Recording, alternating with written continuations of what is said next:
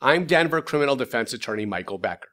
It is a crime in Colorado to possess the Schedule 1 drug gamma hydroxybutyrate or GHB for short. Even a first time offense is a drug felony carrying potential prison time. But we may be able to get the case dropped if we can show 1. You didn't know that GHB was there.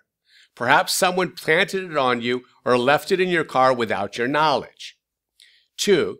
You were never in possession of the GHB. Perhaps it belonged to a friend and you never even touched it. 3. You had only trace amounts of GHB. 4. The police entrapped you during an undercover drug sting.